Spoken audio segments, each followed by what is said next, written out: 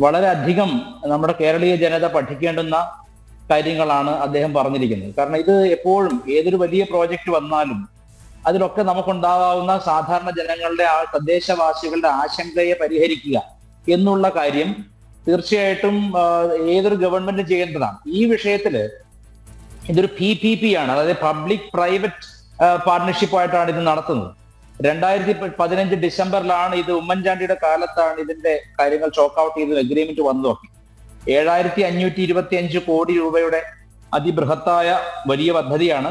ആ പദ്ധതി കൊണ്ട് തൊഴിൽ കിട്ടുന്നവരും ആയിരക്കണക്കിന് പേരാണ്. അതുകൊണ്ട് രാജ്യത്തിന്റെ കേരളത്തിന്റെയും രാജ്യ നമ്മുടെ രാജ്യത്തിന്റെയും സാമ്പത്തിക സ്ഥിതി വളരെയധികം മെച്ചപ്പെടുമെന്നുള്ള കാര്യത്തിലും യാതൊരു തർക്കവുമില്ല. അപ്പൊ അങ്ങനെ നമ്മുടെ രാജ്യത്തിലേക്ക് ഒരു വലിയ പദ്ധതി വരുമ്പോൾ പെട്ടെന്ന് എവിടെ നിന്നാണ് ഈ ലോകത്തില്ലാത്ത ചരിത്രപരമായ ആശങ്കകളൊക്കെ വരുന്നതെന്ന് മനസ്സിലാവുന്നില്ല.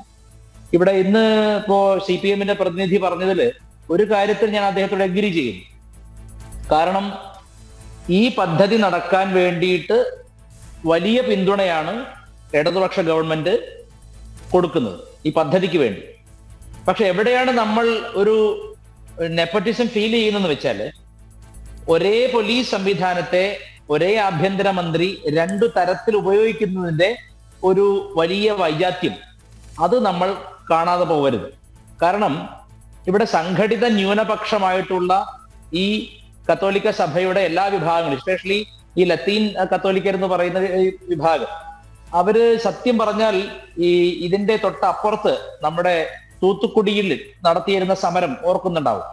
രണ്ടായിരത്തി പതിനാറിലാണെന്ന് തോന്നുന്നു അത് വലിയൊരു രീതിയിൽ അത് ഉദ്ഘാടനം ചെയ്യപ്പെട്ടതും അതിന്റെ ആയിരത്തി തൊള്ളായിരത്തി എൺപത്തി എട്ട് മുതൽ അത് എനിക്ക് തോന്നുന്നു ഗോർബക്ഷയുടെ കാലത്ത് മിഖായൽ ഗോർബക്ഷയുടെ കാലത്ത് റഷ്യയിലെ റഷ്യൻ പ്രധാനമന്ത്രി അതുപോലെ ഭാരതത്തിന്റെ അന്നത്തെ പ്രധാനമന്ത്രി ശ്രീ രാജീവ് ഗാന്ധി ഈ രണ്ടു പേരും തമ്മിൽ ചേർന്നാണ് ഈ പദ്ധതി ചോക്ക് ഔട്ട് ചെയ്തതും രൂപീകരിച്ചതും.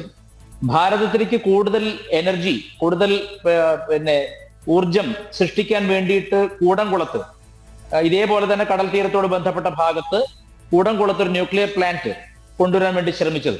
ആ ആയിരത്തി തൊള്ളായിരത്തി ഇരുപ എൺപത്തി എട്ട് നയന്റീൻ എയ്റ്റി എയ്റ്റ് മുതൽ രണ്ടായിരത്തി പതിനാറിൽ നരേന്ദ്രമോദിജി അധികാരത്തിൽ വന്ന് വരുന്ന നരേന്ദ്രമോദിജിയുടെ അധികാരമുള്ള സമയം വരെ രണ്ടായിരത്തി പതിനാറ് വരെ ഇരുപത്തിയെട്ട് വർഷമാണ് പല കാരണങ്ങളാൽ പ്രത്യക്ഷത്തിൽ കണക്ട് ചെയ്യാൻ പറ്റാത്തതെന്ന് തോന്നുന്ന പല കാരണങ്ങളാൽ രാജീവ് ഗാന്ധിയുടെ മരണം കൊലപാതകം അതുപോലെ തന്നെ മറ്റു പല പ്രശ്നങ്ങൾ ഒക്കെ ഉണ്ടായി. അതിന്റെ ഇടയ്ക്ക് നമ്മൾ ചിന്തിക്കേണ്ട കാര്യം ആയിരത്തി തൊള്ളായിരത്തി തൊണ്ണൂറിൽ തന്നെ ഇത്തരത്തിൽ പ്രക്ഷോഭകാരികൾ അവിടെയും തലപൊക്കിയിരുന്നു.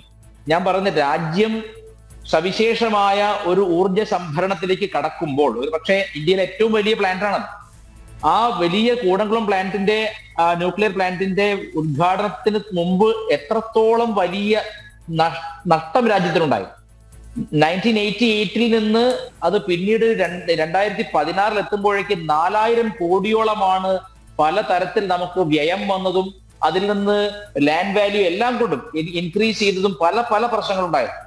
ഇപ്പൊ രാജ്യത്തെ സംബന്ധിച്ച് ഇത്തരം പ്രക്ഷോഭങ്ങൾ ഉണ്ടാക്കുന്ന നഷ്ടം സാമ്പത്തികമായ നഷ്ടം സമയനഷ്ടം ഊർജ നഷ്ടം ചെറുതല്ല. പക്ഷെ അതെന്തുകൊണ്ടാണ് ഈ നമ്മൾ പിന്നെ പലരും അഭിപ്രായം പറഞ്ഞതുപോലെ എന്താ പറയാ വെള്ള പൂശിയ കുഴിമാടങ്ങൾ എന്ന് വരെ വിളിക്കപ്പെട്ടിട്ടുള്ള ഇവരെ നമ്മൾ പൊതുവെ ബഹുമാനത്തോടു കൂടിയാണ് കേരളീയ സമൂഹം കാണുന്നത്. കാരണം ഇവർ വിദ്യാസമ്പന്നരാണ് ഇവർ സ്കൂളുകളും കോളേജുകളും നടത്തുന്നു. ഇതുകൊണ്ടൊക്കെ തന്നെ കേരളത്തിലെ സമൂഹത്തിന്റെ വിചാരം ഇവർ വളരെ ശാന്തരാണെന്നാണ്.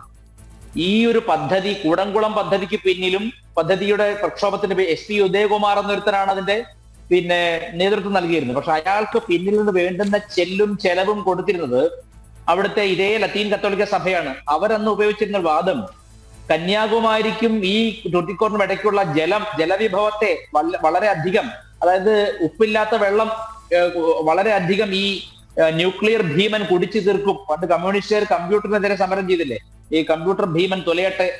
എട്ടായിരം പേരുടെ ജോലി ഒരു കമ്പ്യൂട്ടർ ചെയ്യും. അതുകൊണ്ട് തൊഴിൽ നഷ്ടപ്പെടും. അതുകൊണ്ട് കമ്പ്യൂട്ടർ വേണ്ട എന്നൊക്കെ പറഞ്ഞിരുന്ന നമ്മുടെ ഇപ്പൊ മുഖ്യമന്ത്രിയുടെ കയ്യിൽ വരെ ഇപ്പൊ ആപ്പിൾ കമ്പ്യൂട്ടർ ഉണ്ടെന്നാണ് ഞാൻ അദ്ദേഹം തന്നെ പറഞ്ഞു കേട്ടിട്ടുള്ളത്. ഇപ്പൊ ഞാൻ നോട്ട് പേഡ് എന്ന് അദ്ദേഹം പറഞ്ഞല്ലോ. അപ്പൊ ഞാൻ പറഞ്ഞത് ഈ പറഞ്ഞ പിന്തിരപ്പൻ ശക്തികളെല്ലാം അങ്ങനെ തന്നെയാണ്. ഇവർ ഫ്യൂച്ചറിസ്റ്റിക് ആയിട്ടൊരു ഡെവലപ്മെന്റ് വരുമ്പോൾ അതിനെ ആദ്യം എതിർക്കുക അന്ധമായി എതിർക്കുക. അതിന് ആരിൽ നിന്നെങ്കിലൊക്കെ പുറമേ നിന്ന് പണം കിട്ടുമോ ചെലവ് കിട്ടുമോ എന്ന് നോക്കിയിട്ട് അതും ഇതുമായി വിലപേശുക എന്നൊക്കെയുള്ളൊരു വളരെ കുടിലമായ തന്ത്രത്തിന്റെ ഭാഗമാണിത്. വളരെ സിമ്പിൾ ആണിത്.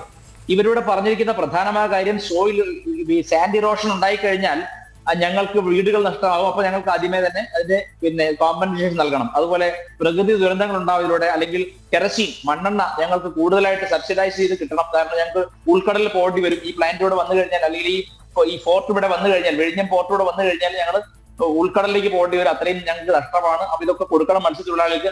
പ്രത്യക്ഷത്തിൽ കേട്ടാൽ സമരസമിതി പറയുന്ന കാര്യങ്ങളെല്ലാം മാനുഷിക മൂല്യങ്ങൾ ഉള്ളതാണെന്ന് തോന്നാമെങ്കിലും ഇതിന്റെ അപകടം വരുന്നത് എവിടെയാണെന്ന് വെച്ചാൽ ഇത് എന്തിനെതിരെയാണ് സമരം ചെയ്യുന്നുള്ളതാണ് രാഷ്ട്രം രൂപകൽപ്പന ചെയ്ത് രാഷ്ട്രത്തിന്റെ ഗുണത്തിന് വേണ്ടി ഒരു പക്ഷേ ദുബായ് പോർട്ടിനോടോ സിംഗപ്പൂർ പോർട്ടിനോടോ ഒക്കെ മത്സരിക്കാവുന്ന അത്രയും അത്രയും വലിയൊരു പോർട്ടാണ് വിഴിഞ്ഞം. മറ്റ് സ്ഥലങ്ങൾ മറ്റ് ദുബായ് പോർട്ടിന് പോലും അത്രയ്ക്കും നാച്ചുറലി ഒരു പോർട്ട് ഡെവലപ്പ് ചെയ്യാൻ പറ്റുന്ന എല്ലാ സൗകര്യങ്ങളും പ്രകൃതി തന്നെ കൊടുത്തിരിക്കുന്ന സ്ഥലമാണ് വിഴിഞ്ഞം. നേരത്തെ നമ്മുടെ ഹൈഡ്രോഗ്രാഫർ സാർ അത് പറഞ്ഞല്ലോ. അപ്പൊ ഞാൻ പറയുന്നത് ഇവിടെ ക്രിസ്ത്യൻ പാതിരിമാർ ഇപ്പൊ മാർ ആലഞ്ചേരി വരെ ഇതിനെ സപ്പോർട്ട് ചെയ്തിരിക്കണം ഇപ്പൊ. ഇപ്പൊ കത്തോലിക്ക സഭയുടെ എല്ലാ വിഭാഗങ്ങളും ഈ സമരത്തെ സമരാഭാസത്തെ സമരം എന്ന് പറഞ്ഞുകൂടാ ഈ സമരാഭാസത്തെ പിന്തുണയ്ക്കുകയാണ്. ഇവിടെ കഴിഞ്ഞ ദിവസം ഞായറാഴ്ച ഉണ്ടായ അക്രമം ആലോചിക്കുക.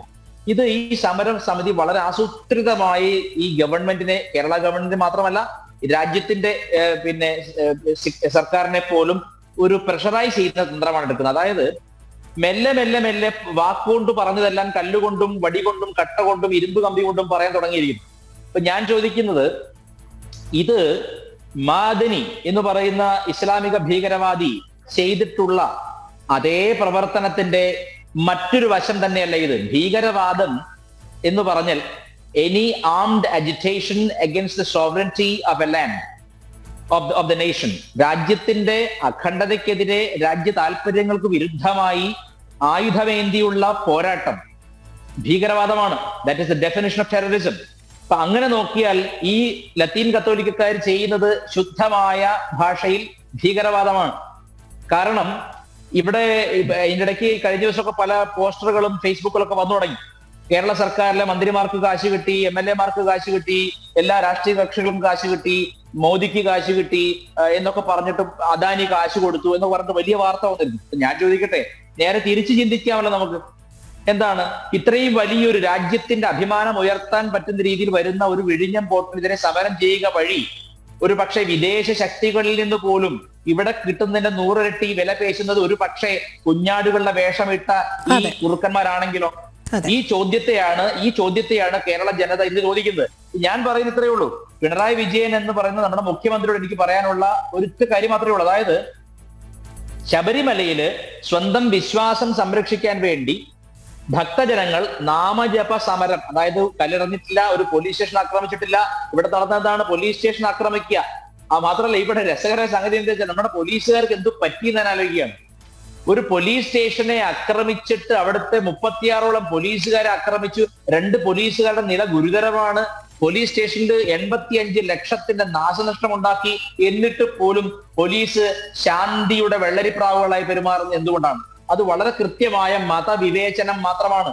മുമ്പ് രണ്ടായിരത്തി പതിനെട്ടിൽ കേരള പോലീസിന്റെ ഫേസ്ബുക്ക് പേജിൽ ശബരിമലയിലെ സാധുക്കളായ ഭക്തന്മാരെ മനോജ് എബ്രഹാമിന്റെ ഒക്കെ നേതൃത്വത്തിൽ തല്ലി ചതച്ച സമയത്ത് പല ഭക്തന്മാരും പോലീസിന്റെ ഈ പറഞ്ഞ ഫേസ്ബുക്ക് പോസ്റ്റിൽ പോയിട്ട് പരാതിപ്പെട്ടപ്പോൾ അവർ പറഞ്ഞത് പിന്നെ തല്ലിന് മതമില്ല ബ്രോ എന്നാണ്.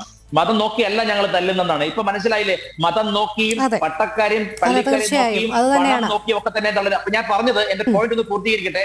ഞാൻ പറഞ്ഞത് കാരണം ഞാൻ രണ്ട് ഊഴത്തിന്റെ സമയം ഒരിക്കലും എടുക്കുകയാണ്. എന്ന് വെച്ചാൽ ഇതിന്റെ പ്രശ്നം എന്താന്ന് വെച്ചാൽ ശബരിമലയിൽ കാണിച്ച അക്രമമോ പോലീസിന്റെ ശൗര്യമോ പല്ലോ ഒന്നും ഇവിടെ കാണാനില്ല.